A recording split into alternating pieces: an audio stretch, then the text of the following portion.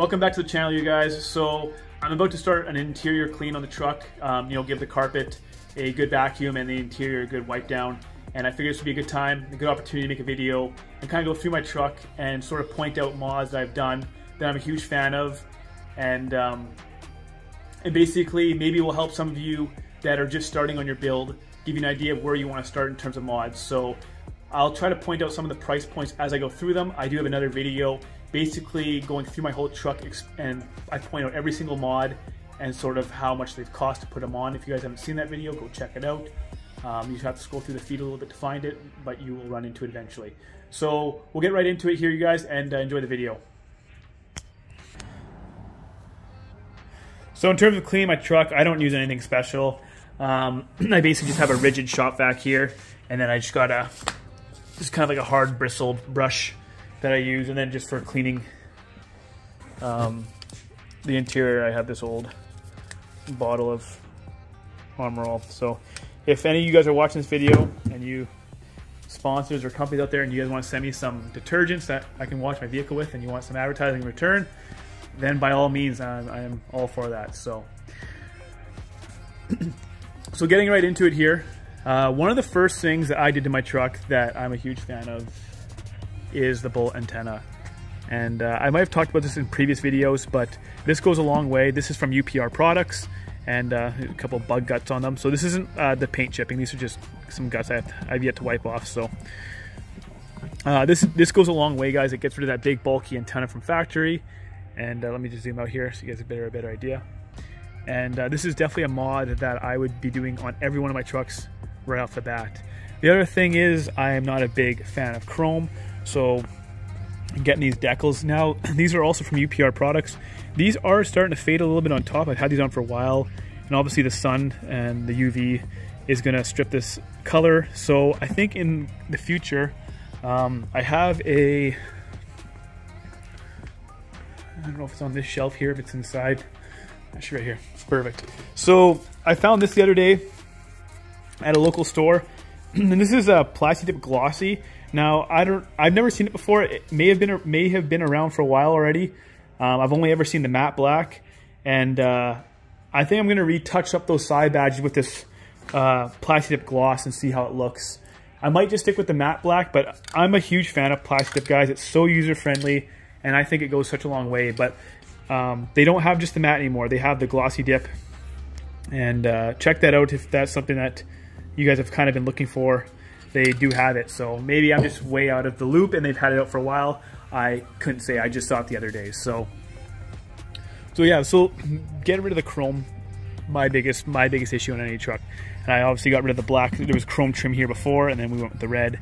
And I might just switch it all to black. Um, in the future, I will do a video if I do decide to plasti dip these and uh, take them off and whatnot. So I might I'd actually I'd just do it on the truck realistically. So I would probably cover this badge up here, put some tape around it, and then we would just spray it on the truck because it's got 3M tape. I wouldn't want to risk snapping these uh, letters, taking them off. So that's the nice thing about Plasti Dip is that you can just do it right on the vehicle and it's very easy to clean up afterwards.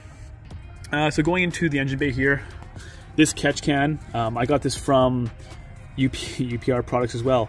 This isn't, uh, this isn't, this just happens to be like that, guys. All three products right off the bat.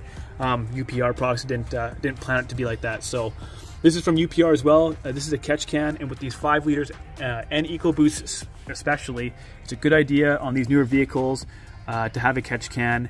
And it, uh, you know what? I'm gonna grab a container because it's actually been a while since I've emptied it. Uh, and then you guys can kind of see what it catches. So, perfect. got an old, there's already some residue in there that's kind of gross.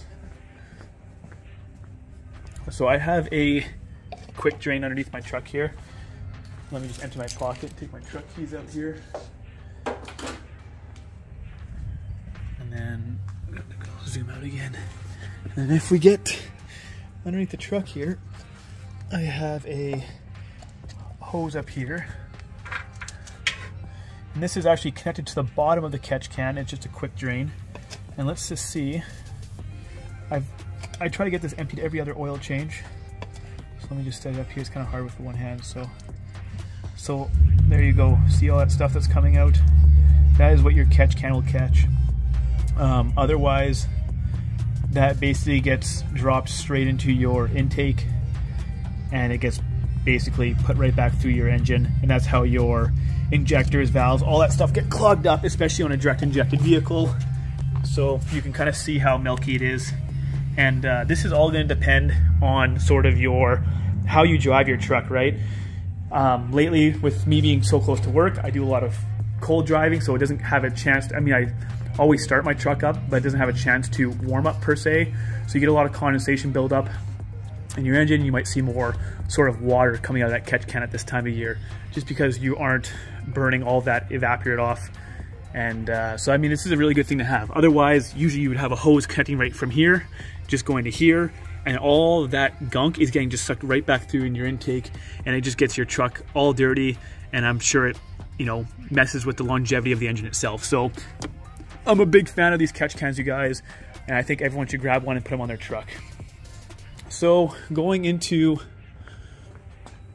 I mean, I can go on all day. Like the mods I put on my truck, I mean, I put them on for a reason, right? Like just getting rid of the OEM headlights and the OEM tails on the back there are huge for me. Going with the blacked out fog lights, um, big fan of that too. Like just getting that whole sort of black look on your just that dark stealth look on your front end of your truck is big. Going with the Raptor, the Raptor wannabe grill. I've had lots of people ask me where I've gotten this grill from, and the company where I bought it from no longer sells this grill, so I think it's more of a one-off grill. There might be out somewhere else out there, but it probably won't be identical. And uh, I'm trying to get it a little bit brighter here, but oh, there we go. So yeah, I couldn't tell you guys where you can go and find that grill because I got lucky and they don't make it anymore. So the other big thing, and I've talked about this a lot, is my three inch lift kit from Rancho. Huge fan of it, you guys. I've had it on for a couple years now and it rides so very well. Um, I haven't had any issues yet. I'm gonna reach out to Rancho and see if we can uh, maybe get some new rear shocks sent out just because mine are, they're still functional, but they're just starting to rust and kind of almost look bad um, on the exterior part of it. But uh, huge fan of the three inch lift, you guys. It rides really good. It does a lot for the look of the truck, functionality, and it keeps your. I'll have to tuck up that. Uh, I'll have to tuck this up after. But uh, and it keeps your uh, tie rods and all your, you know, your angles and all that stuff kind of intact as well. So jumping in onto the inside here, we'll go right to the back. Actually, you know what? We'll go around from the other side so you guys can kind of see I also have a video of what I'm about to show you guys. I do get a lot of questions on it and it's sometimes hard to answer stuff um, over comments. It's, and that's why I made that video the other day of that wiring diagram. I hope that helps some of you guys because it's just easier to explain um, on paper when you can do a video of it than try to comment and type. So this is something I'm a huge fan of you guys. Um, is the subwoofer in the back. So this was very, very easy to hook up. I have a video on this as well. You guys go check that out. And um, basically these two cables, these are your, uh, your inputs, your, uh, sorry, your audio outputs. And uh, no, I lied. This is your audio input, sorry. And um, basically you take these, there's a harness back there in the corner and then these tie right into some of the, some of the wires. And like I said, I have a full video on it. And there's another video out there that actually does a very good explanation on this as well. So, um, and this one has a built-in amp. So that's sort of what you get for your amp settings. This is a uh, Rockford Fosgate. I'm not sure the model on it. Actually, it says right there, right there. It's a P300-10T, so it's a 10-inch sub and then obviously your power is going to the engine and all that stuff. So very easy setup, and it sits it fits so perfectly on. It it fits so perfectly underneath the the seat.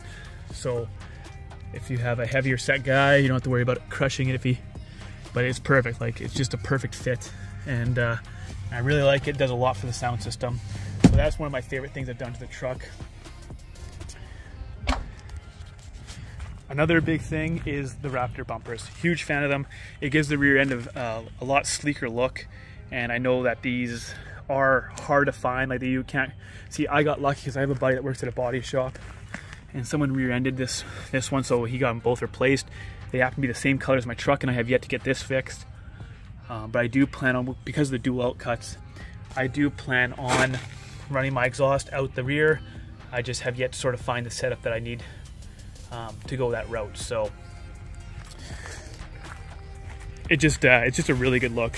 And I know it may not work with every color of truck because it does sort of get um, shaved off kind of up high here. So if you have like a white truck, you might see a lot of black down here. But with the gray colored truck and anything that's darker, it's gonna look pretty good. And it shouldn't be, shouldn't be an issue. So uh, going into the front here, if you guys have a FORScan tool, you can change your uh, splash screen and your theme of your sort of um, your touch, your basically your touch screen and your home entertainment or your entertainment sort of system. So that's another huge um, thing I'm a fan of. And the last thing that I'll kind of touch on, and it's another interior mod. Let me just grab my keys here.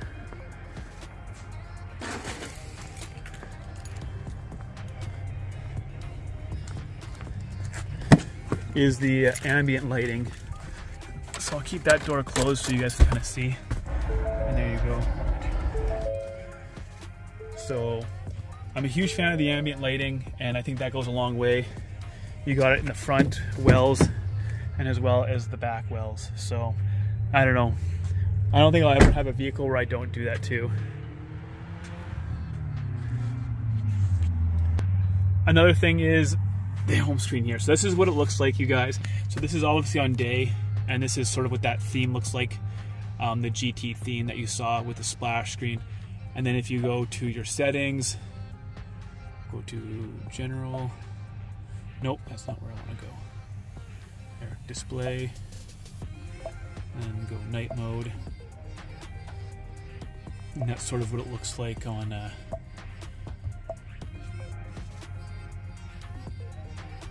So that's kind of what it looks like, uh, and it gives it a whole sort of different look. At nighttime looks nice. You got all the white dots in the background, and it just gives it a whole kind of sleek look. I like the look of the 2020 F1, the 2020 and up uh, screens. They have like that really nice blue, but this does for now. And uh, the other big thing that a lot of people choose not to do, which is totally understandable, is a tuner. And uh, I I have loved my tune, guys. If you guys are having issues with your 10-speed transmission, get a tune. Um, my tune is from. Let's take the key out here. So my tune is from ID Motorsports. Um, I think they actually changed their name, and they're still ID, but I don't know what their what their their company is called now. I got this tune a couple years ago, but it was from ID Motorsports at the time, and uh, they gave me, uh, you know, 89. They gave me all custom tunes because I have the the exhaust intake and I got the um, high flow off-road Y pipes from SPD Performance, and uh, and they gave me a custom tune with uh, 89 and 91 and 93 octane. And when you put on the 93 octane, it pulls like it's night and day versus stock but it, it, the biggest thing is the the 10 speed transmission. It smoothed it right out. So if any of you guys are having issues with your 10 speed transmission guys get a tune. Go talk to a reputable tuner um, someone that doesn't just make uh, you know your typical default tunes for every truck. You know talk to someone that actually can make a custom tune for you and say that you're having issues with your 10 speed transmission and they will be able to work out those kinks. And it just it's smooth as butter now. So I will leave the video there you guys and uh, just like I said, just a quick video, just sort of showing things on my truck that I'm a huge fan of. And like I said, I hope that some of you that are, that are just getting into it, uh, this kind of helps you on where to start and maybe gives you ideas going forward. So we'll leave it at that, you guys. And uh, thanks for watching, and we'll see you in the next one.